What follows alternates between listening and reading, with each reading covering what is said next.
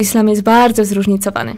To jest religia, którą wyznaje już ponad półtora miliarda ludzi, czyli możemy sobie wyobrazić, jak ogromna różnorodność to jest. Mówiąc o tym, jaka jest rola kobiety w islamie, musimy pamiętać o tym, że ze względu na różne uwarunkowania e, takie wynikające z tradycji, czy z kultury bardzo konkretnych krajów, czy nawet regionów w danym kraju, troszeczkę możemy mieć różnice w tym, jak się mówi o kobietach, czy, czy czego się wymaga od kobiet, jakie prawa się przyznaje kobietom, także właśnie w tym, w tym aspekcie y, religijnym. No bo oczywiście często jest tak, że y, Koran sobie, a tradycja sobie.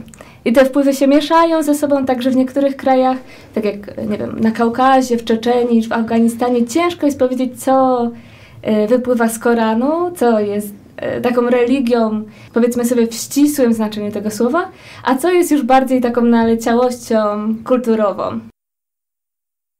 Jaki strój powinna mieć kobieta wierząca w islam?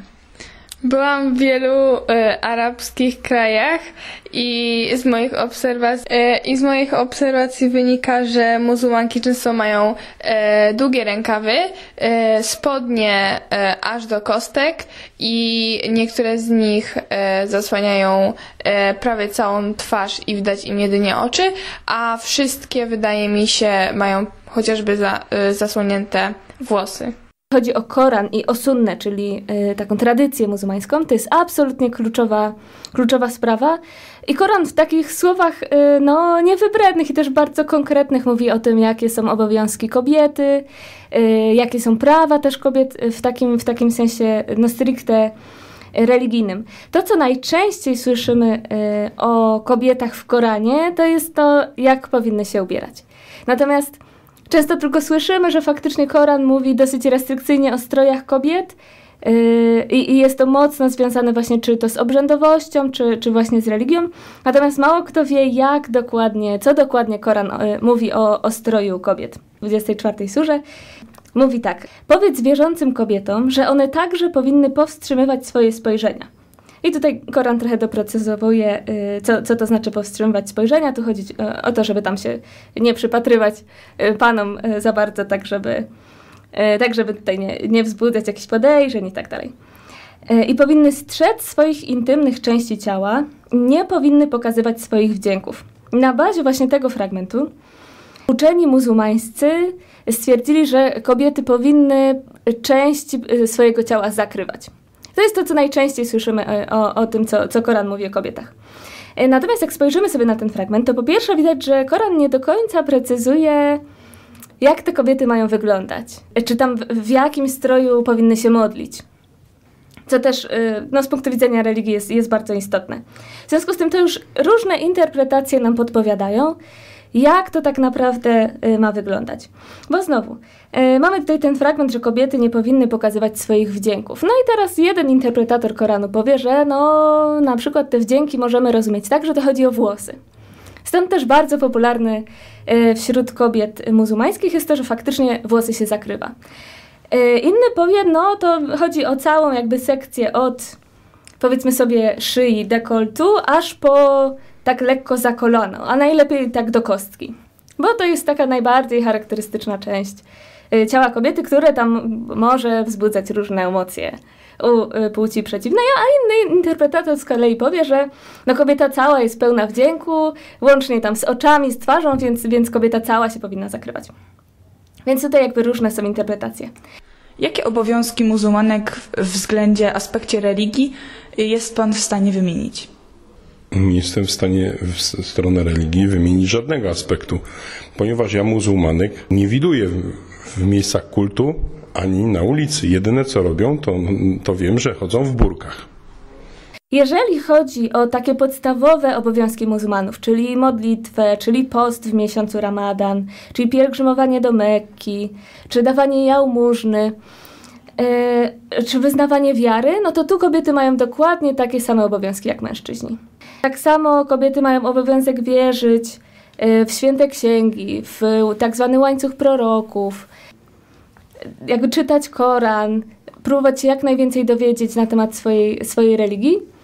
E, w tradycji muzułmańskiej też znajdujemy taki, taki fragment, e, gdzie prorok mówi, człowiek powinien się uczyć od kolebki aż po grób.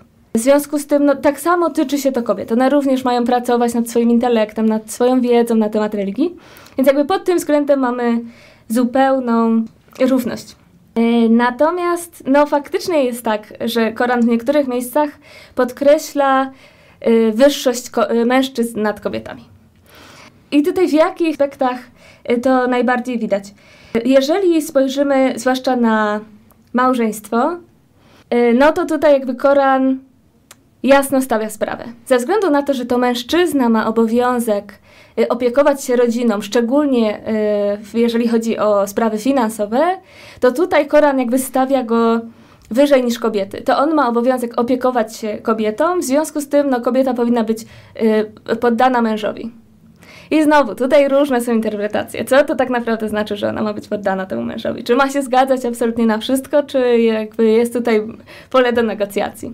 I w związku z tym, że mamy bardzo wiele interpretacji Koranu, znowu związane jest to z tym, że muzułmanów jest bardzo dużo I, i że ten islam jest w wielu różnych krajach, no to jeden, jeden imam, jeden interpretator powie tak, a drugi powie inaczej. Czy według Pani występują jakieś różnice w wychowaniu chłopców i dziewczynek w islamie? E, tak, wydaje mi się, e, chociaż nie mam żadnego doświadczenia, nie byłam nigdy w takim kraju, ale z tego co słyszałam i czytałam, to zdecydowanie e, różni się wychowanie chłopców i dziewczynek. Chłopcy mają dużo więcej swobody w stroju, w zachowaniu, natomiast dziewczynki od początku powinny bardziej zakrywać twarz, włosy. Tak, jest różnica w wychowaniu córek i w wychowaniu synów. Zdecydowanie tak. To się objawia dopiero od pewnego wieku. Yy, tradycyjnie się mówi, że tak mniej więcej do lat siedmiu dzieci są z matką. Yy, dzieci są z matką i nie ma tutaj jakichś specjalnych różnic, bawią się razem i tak dalej. W bardzo tradycyjnych rodzinach od wieku powiedzmy sobie tych 7-8 lat już zaczyna się troszkę podział. Czyli chłopcy są bardziej z ojcem, a dziewczynki są bardziej z matką. To ma być taki wiek, y, od którego zaczynamy się już uczyć pewnych obowiązków takich w domu, obowiązków wobec rodziny. W związku z tym, y, no dziewczyny mają się właśnie tradycyjnie przynajmniej y, w takich rodzinach bardziej konserwatywnych uczyć gotować, tam doglądać co mama robi, co ciotki robią, przebywać więcej z kobietami i tak. W związku z tym, że jakby małżeństwo jest takim kluczowym momentem w życiu wielu, tu szczególnie kobiet muzułmanek, jak przychodzi już właśnie moment decydowania o tym, za kogo się wyjdzie za mąż, bo no w islamie jest tak, że, że każdy ma męża albo żonę. Nie ma raczej osób, które są niezamężne. No w islamie nie ma celibatu, nawet dla osób, które prowadzą modlitwy i tak dalej. Każdy ma męża i żonę, to, to jest zupełnie naturalne. Więc jak przychodzi taki ważny moment właśnie decydowania o tym, czy to już pora tam się wydać za mąż, czy nie, no to tutaj znowu są pewne różnice. Bo zasadniczo jest tak, że y, no, panowie mają troszkę więcej wolności w wyborze. Y, oczywiście tutaj jakby islam mówi jasno, uczeni muzułmańscy mówią jasno, że y, nikogo nie można zmuszać do małżeństwa. Że jeżeli kobieta jest zmuszona do małżeństwa, to to małżeństwo jest nieważne. Natomiast oczywiście zdarza się tak, że no tutaj rodzina tak mocno wpływa na tę dziewczynę, że no pozostawia jej niewielki wybór co do tego, za kogo za mąż wyjdzie. Więc tutaj też ta różnica y, jest widoczna. Co więcej, już przy samym zawarciu małżeństwa w imieniu panny młodej y, kontrakt małżeński powinien y, podpisać jakiś męski opiekun. Ojciec, jeżeli nie ma ojca, to na przykład dziadek, jeżeli nie ma kogoś starszego, no to na przykład brat albo jakiś wujek. No pasowałoby, żeby to był mężczyzna. Natomiast chłopak muzułmanin może podpisać ten kontrakt małżeński jakby w swoim imieniu.